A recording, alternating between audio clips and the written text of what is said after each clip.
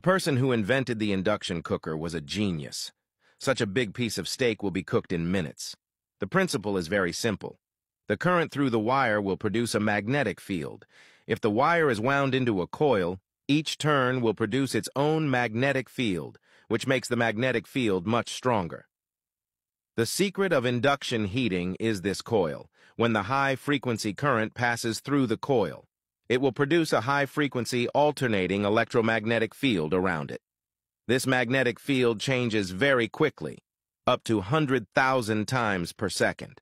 To give an inappropriate example, in order to change the positive and negative terminals of the battery, you can also change the magnetic field, but you have to do this 100,000 times per second. After completing the above steps, you then put the iron pot on it.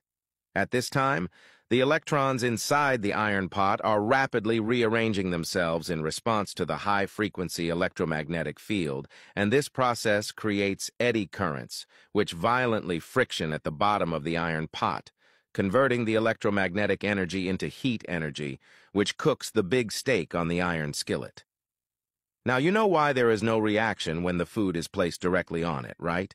It is because the induction cooker is heated by electromagnetic induction, so non-magnetic materials such as glass cannot produce any current. Naturally, it won't work as well as an iron pots, and the best way to test it is to suck it up with a magnet. Thanks for watching. Like, comment, share, and follow.